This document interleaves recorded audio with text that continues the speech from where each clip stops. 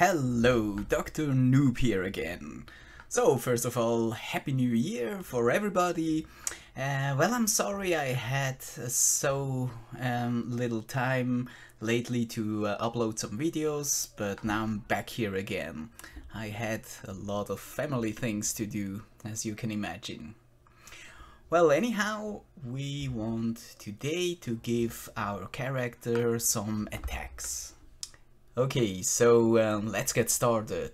Um, what I want to do is for our bunny here to give her a little attack area. So a melee attack. So when she attacks, then there will be a box appearing where she will make the damage. Now I have found the optimal way to deal with the box because sometimes it's very hard to position the box in the right place. So let me show you what I do. So the first thing I do in here is to get a good sprite. So because in here you will not see where the punch goes or the melee attack or if you have a sword then a sword attack.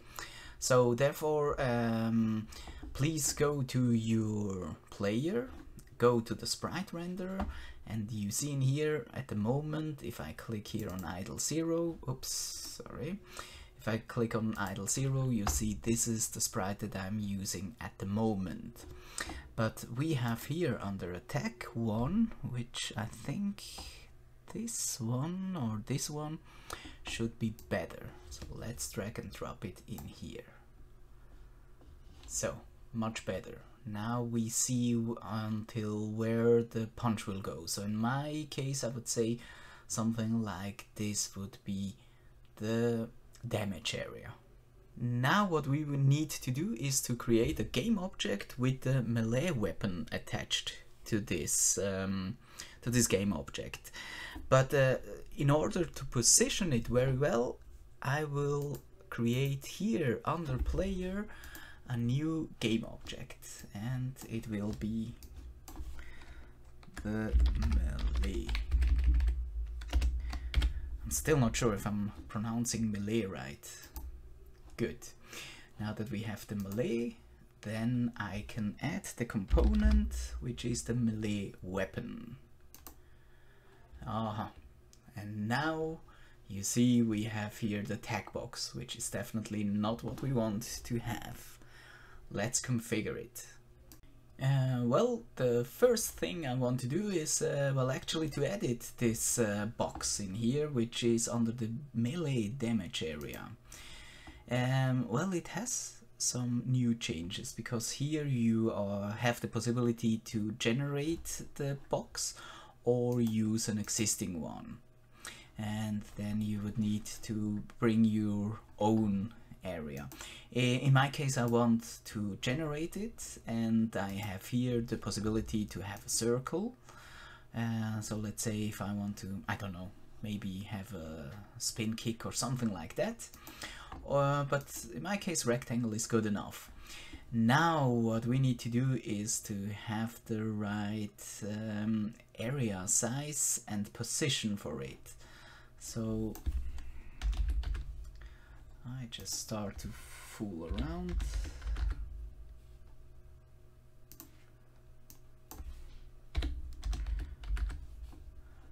Mm. Like that. And move it in here. Yeah, we are not far away. Um, No, I think I want to have it a little bit bigger. Let's say 0 0.5 and here move it to 0 0.1 or something. Well, that doesn't look very bad, does it? So this would be the melee area. Um, but no, to be honest, I would like to make it bigger than the pixel itself. It somehow is more um, rewarding for the player if the damage area is quite 0 0.2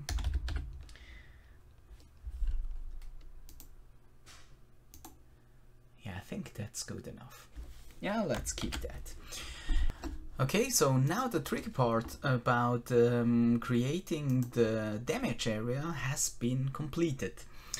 So um, for the rest of the settings I would like to test them while I'm playing. Therefore I will do the following. I will go here to my prefabs where our player is and I drag and drop this and make a prefab out of it. So the melee attack here.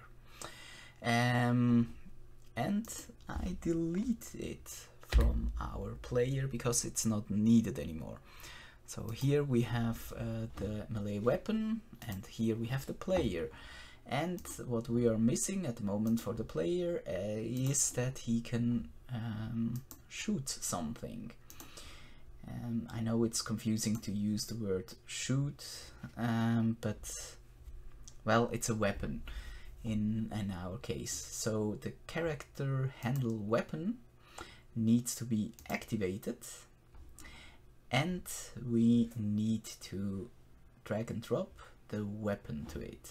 So we go in here to the melee attack and move it in here. Good, so now it's set up. So now we have our player with the character handle weapon and the melee attached to it. So I would like to see that. Uh, in order to see that really in here, you need well to click on play and make sure that you have here the player activated because only then you can see the red uh, damage area. You see if I leave it be it's even one second and he repeats you see one second one second one second. Okay so um, let's get started with the configuration and I tell you why he was repeating the melee attack.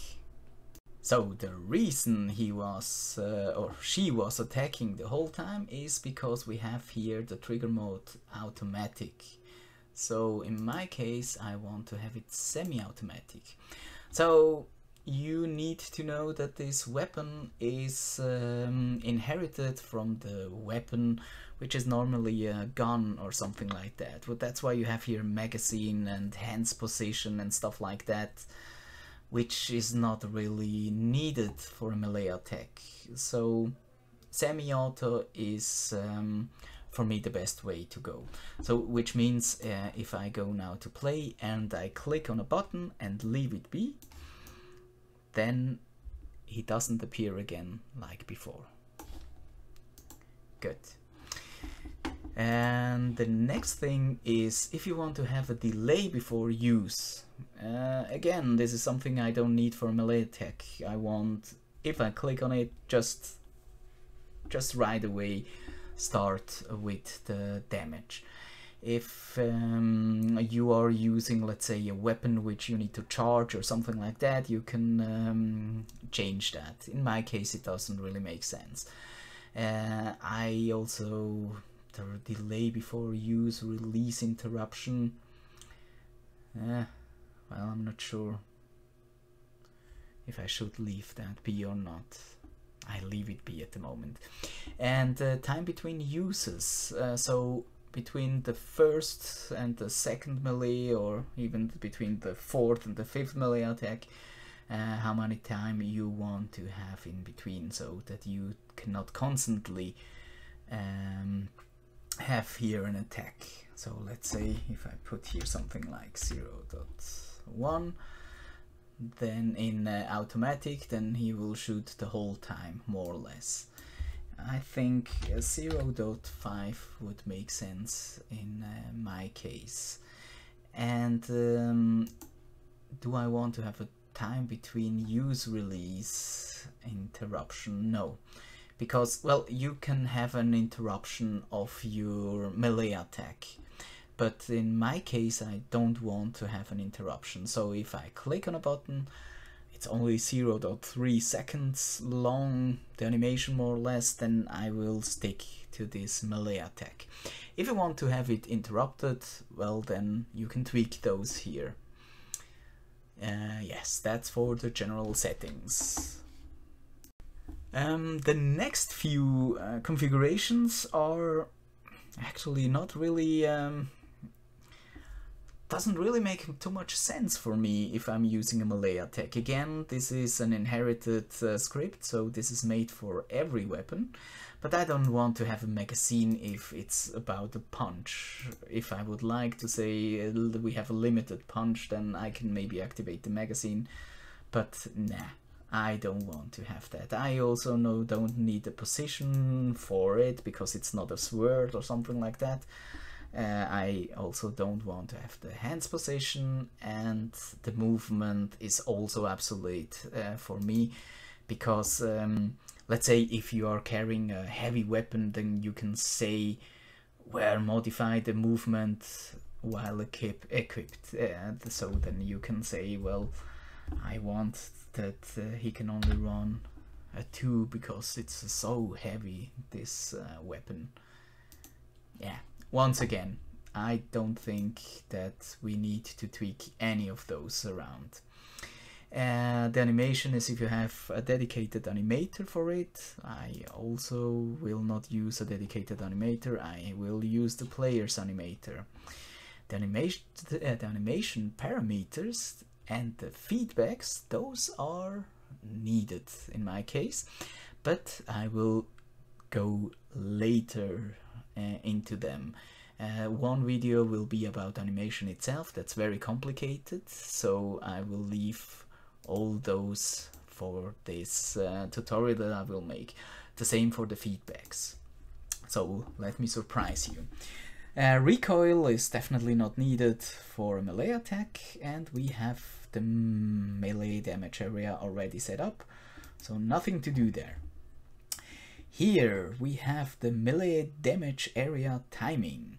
So here we can have something like a, a small delay. Let's say if my punch, uh, let's say my arm goes shortly back before he or she punches, then I can make here something like initial delay. I will not have here the initial delay and the duration of one second is far too long for just a kick.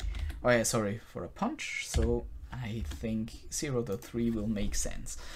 Um, so here, once again, this is something that you need to make sure to uh, tweak around for your game. So depending on your pace, on your kick or punch or whatever you like to add in here, that's something you will definitely tweak around. And believe me I will also tweak around later with it. But 0.3 is a good punch time.